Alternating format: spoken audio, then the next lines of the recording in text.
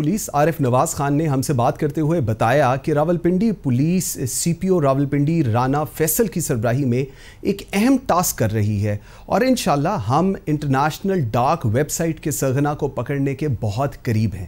ہم نے اس وقت تو اس پہ بات نہیں کی، لیکن اب آج ہم اس پہ ضرور بات کریں گے۔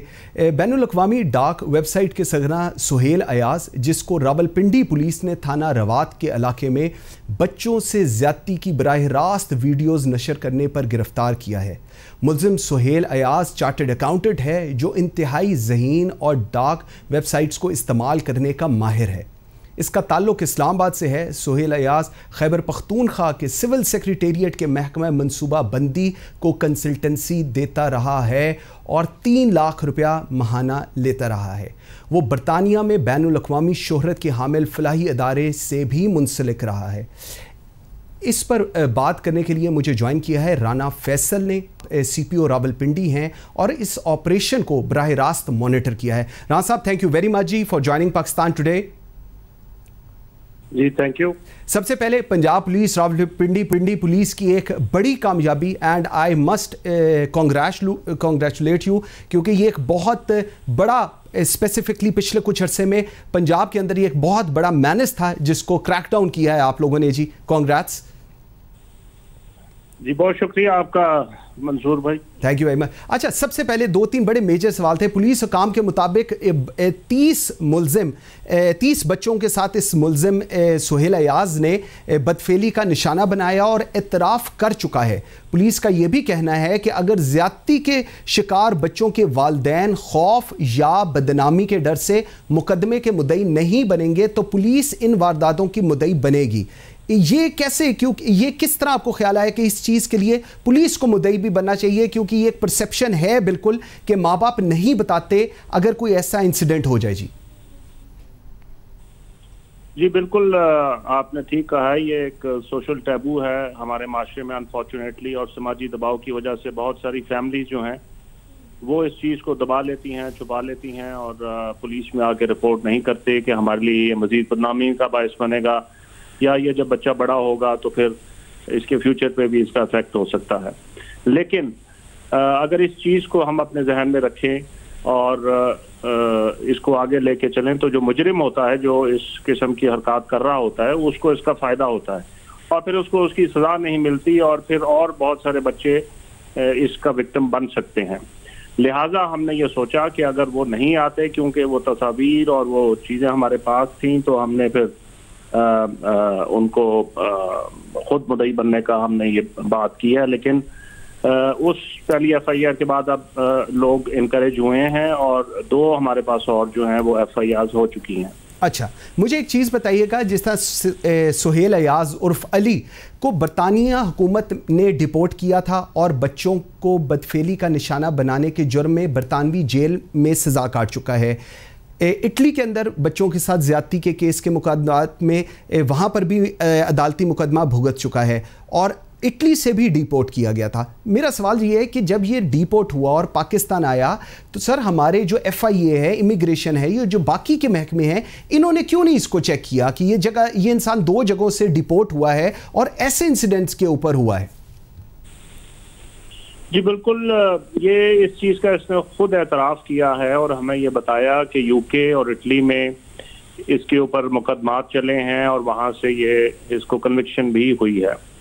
وہاں سے جب یہ ڈپورٹ ہوا تو اس کے پاسپورٹ پہ کوئی نارملی ایسی چیز نہیں لکھی جاتی ہے، لیکن ایف آئی اے سے ہم نے رابطہ کیا ہے اور ایف آئی اے بھی اس معاملے میں ہمیں انہوں نے یہی بتایا ہے کہ وہاں سے اس کے متعلق اس قسم کی جو ہسٹری اس کی تھی کرمنل وہ شیئر نہیں کی گئی ڈیٹیل سے۔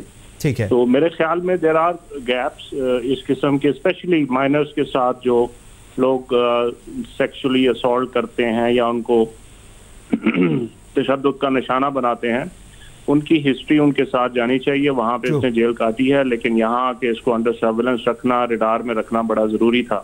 ویری رائٹ بالکل ٹھیک ہے۔ اچھا جب یہ پاکستان واپس آتا ہے اور تھانہ روات کے ایریا میں رہائش پذیر ہوتا ہے پھر ایک سوال، کیونکہ آبویس یہ اس طرح بچوں کا ایسی بات ہے کہ کئی دفعہ بات کرتے ہوئے بھی دل بڑا خراب ہو جاتا ہے۔ بچوں کے ساتھ اس نے زیادتی کا نشانہ بنایا اور بتایا جا رہا ہے تقریباً تیس بچوں کے ساتھ اس نے زیادتی کی۔ جہاں پر یہ رہتا تھا جس معاشرے میں ہم رہ رہے ہیں کسی پڑوسی کسی راگزیر کسی نے بودر نہیں کیا کہ اطلاع دے کہ اس گھر کے اندر سے کسی بچے کے چیخنے کی یا کوئی ایسی آواز آتی ہے۔ کیوں سر ایسا کیوں ہو رہا ہے؟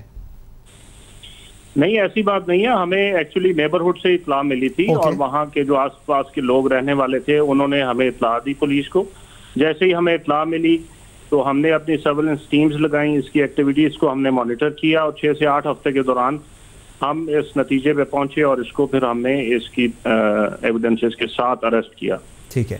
اور اب تک کیا مزید تفصیلات آ چکی ہیں؟ کیونکہ اس کا ایک اور بھی جو ساتھی تھا وہ بھی گرفتار ہوا ہے ایک بچہ بھی ریکور ہوا ہے۔ اگر آپ اس پہ بھی تھوڑا سا بتا سکیں جی۔ جی بالکل ایک اور شخص بھی گرفتار کیا ہے ہم نے جس کا اس سے تعلق ہے۔ اور یہ بچے جو ہیں وہ جو یہ لے کے آتا تھا وہ اس کے حوالے کر دیتا تھا۔ اور ایک بچہ جو کہ کچھ عرصے سے گم تھا، وہ بھی ریکور ہو گیا ہے اسی شخص سے۔ تو ابھی چونکہ یہ مقدمات زیر تفتیش ہیں اور بڑے سینسٹیو ہیں، تو پراببلی شاید میں آپ کو ڈیٹیل سے شیئر نہ کر سکوں۔ ویری رائٹ اس پہ جو ایویڈنس ہے وہ آبویسلی پولیس کے پاس پورا ہوگا کیونکہ ہم نے دیکھا کہ اس کے والد نے کہا ہے کہ میرے بیٹے پہ بے بنیاد الزامات لگائے گئے ہیں اور اس کو رات کو کہیں سویا ہوا تھا اٹھا کے لے کر گیا لے کر جایا گیا ہے۔ اور یہ بھی کہہ رہے ہیں کہ جی جو کیسز وہاں پر بنے تھے وہ بہت ہی کوئی معمولی نوعیت کے تھے۔ اس پہ آپ کیا کہیں گے آپ؟ نہیں ابھی تو دیکھیں چونکہ یہ زیر تفتیش ہے یہاں والے کیسز اس کے۔ تو انشاءاللہ وہ بھی ایک پرائم منسٹر صاحب نے اس پہ بڑا نوٹس لیا ہے اور ایک بڑی ٹیم ہماری ہائی لیول کی ٹیم بنی ہے جس میں تمام ادارے ایف آئی اے ہمارے پروسیکیوٹر ڈپارٹمنٹ ہمارے اور جو امپورٹنٹ ادارے ہیں تفتیش میں، وہ اب اس ٹیم کو بڑا کلوزلی مانیٹر بھی کر رہے ہیں، دیکھ بھی رہے ہیں اور جہاں رہی بات کہ یہ کوئی معصوم میرے خیال میں یہ معصومیت اس کی بالکل نہیں ہے، کیونکہ جو یو کے گورنمنٹ ہے اس نے انہوں نے اس کو انہی جرائم کے اوپر ڈپورٹ کیا بالکل ٹھیک ہے۔ Rana Faisal C P O Rawalpindi very grateful to you ji آپ نے ٹائم دیا بہت شکریہ۔ آج کے لیے اتنا ہی۔